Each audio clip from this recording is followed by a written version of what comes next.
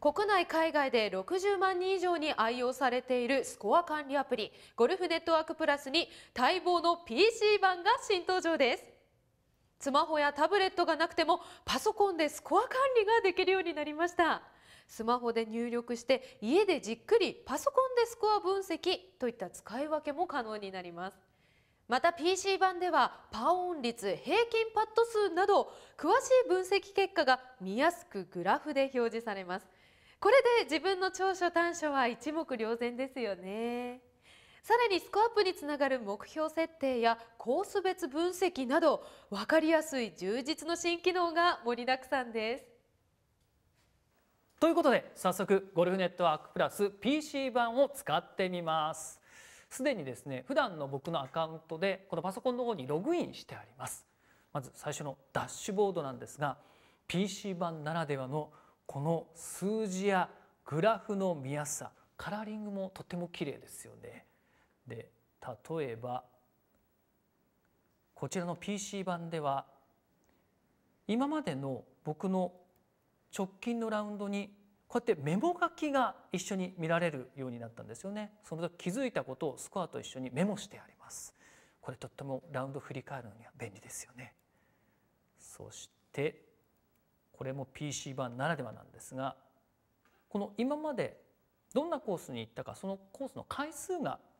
表示されてます。そして今まではできなかった PC 版ならではの、え、特徴としてコースごとのスコア分析ができるようになりました。例えば一番行っているコースで見てみるとコースごとの平均スコアですとか平均パット数さらには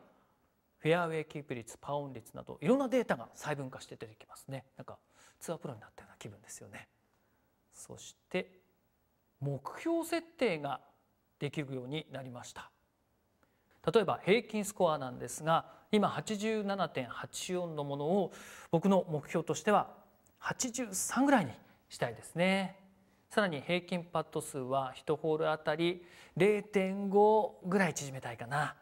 フェアウェイキープ率パーオン率リカバリー率もいずれもですね自分の目標が設定できるようになりました、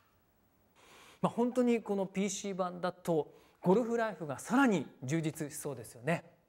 ゴルフネットワークプラス PC 版についての詳細はゴルフネットワークのホームページまでどうぞ。紙のスコアカードが大量に家にあって整理したいんだけどなかなかできないという方に耳寄りな情報です。ゴルフネットワークプラスがあなたのスコア入力を代行します。操作は簡単です。スコアカードを写真で撮って送るだけです。これなら昔の紙のスコアもデータ化してしっかりスコア管理できますよね。ラウンド中は紙のスコアカードを使うので終わってからわざわざアプリに入力するのが面倒という方にもおすすめのサービスです。